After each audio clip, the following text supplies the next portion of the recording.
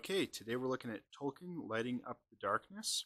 Now, this is a biography on Tolkien, kind of his early formative years uh, leading up into the Great War and just the impact on developing ultimately all his writings, such as The Hobbit, Lord of the Rings.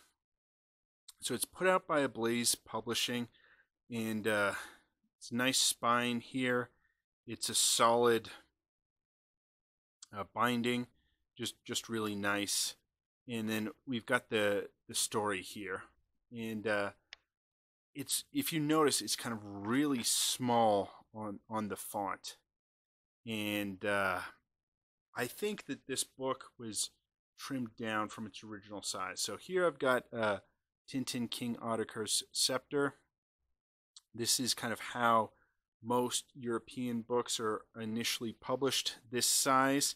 And if we just kind of compare the the font uh, size here, you've got uh, the Tintin font versus uh, this font, and it, there's just really no comparison. It's it's really tough to read.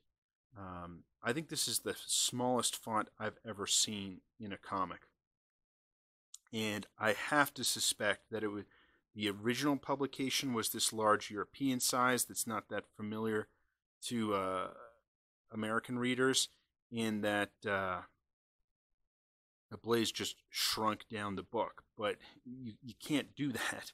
You've got to maintain the font.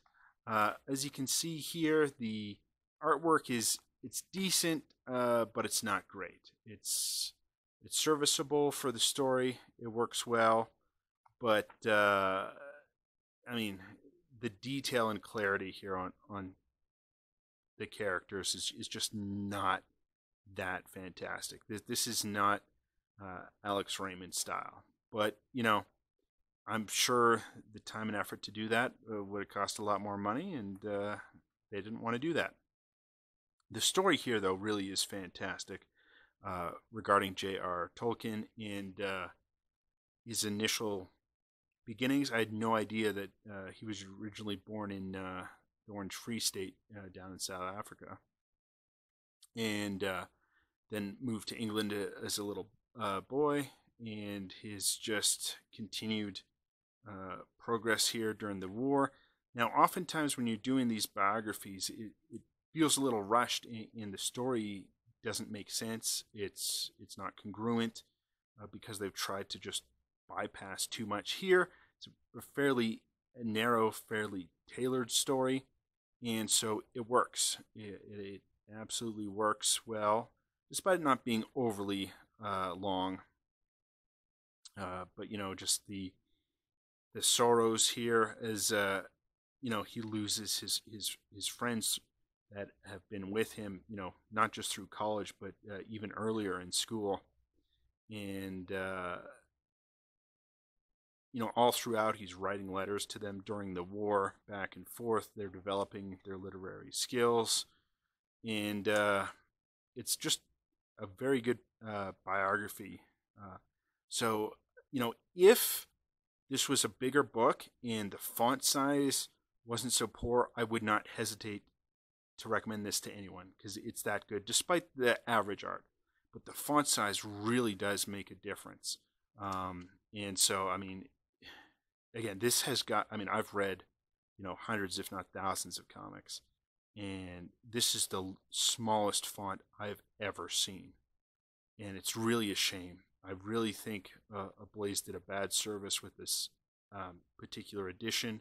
I have to suspect, because this is a, originally a European book, it was probably originally European size, like we see with Tintin or all those different uh, Cinebook releases that they do and uh, it's just really a shame to see it shrunk down, eh, put with such a small font. Um, here we've got one of his friends, unfortunately, getting gangrene, passing away.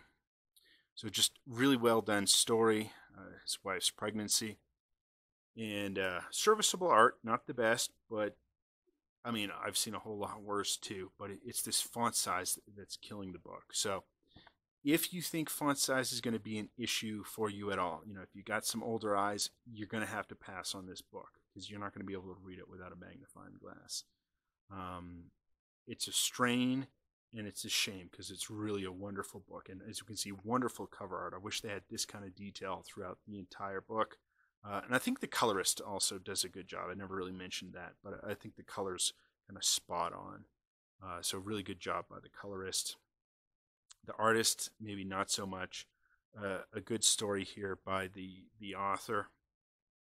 I'll I'll look for other stuff this guy writes. Um, I'm gonna probably stay away from a, Ablaze uh, translations and a Blaze publishing unless I know they're they're keeping the the right size because it's it's a shame. It's just a wonderful story, unique story, and uh, it did not deserve font this small. Till next time.